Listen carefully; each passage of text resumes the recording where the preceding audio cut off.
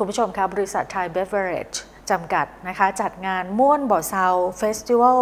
เพื่อส่งเสริมกิจกรรมในชุมชนค่ะ ทีมหมู่สองครับมีชื่อทีมไหมนะ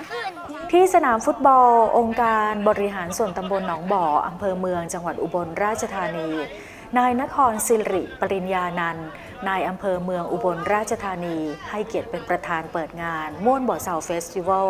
ประจำปี 2562 โดยบริษัทไทยเบเวอร์เรจจำกัด กำหนดจัดกิจกรรมดังกล่าวขึ้น เพื่อส่งเสริมกิจกรรมในชุมชน เป็นกิจกรรมที่ช้างเติมความสุขสู่ชุมชน โดยเน้นความร่วมมือจากหน่วยงานของภาครัฐ และเอกชน ชุมชน ได้มีส่วนร่วมในกิจกรรมสร้างชุมชนให้แข็งแกร่ง กิจกรรมม่วนบ่อเซาเฟสติวัลเป็นกิจกรรมนำร่องแบบเน้นชุมชนให้มีส่วนร่วม และช่วยกันพัฒนาชุมชนภายใต้แนวคิดชุมชนดี มีรอยยิ้ม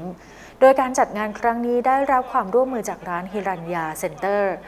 ร้านแสงรุง้ง พร้อมส่วนราชการ ส่วนท้องถิ่น โดยจัดกิจกรรมสู่ชุมชนบ้านหนองบ่อเพื่อสร้างกิจกรรมในพื้นที่ เพื่อก่อให้เกิดรายได้หมุนเวียนภายในชุมชน ภายในงานครั้งนี้มีการแสดงละครคุณธรรม การแสดงรำสาวไหม การแสดงหมอลำพื้นบ้าน การประกวดส้มตำร้อยลีลา และการประกวดชุดผ้าไหม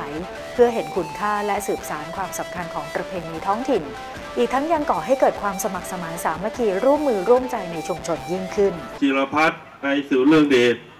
พร้อมคณะท่านกำนันประวิทย์จันพวงนะครับกำนันตำบลหนองบ่อ การโรงเรียน คณาจารย์ นักเรียนนักศึกษาตลอดจนพ่อแม่พี่น้อง ท่านผู้ท่านนายอำเภอนะครับสองละเก้าบาทค่ะ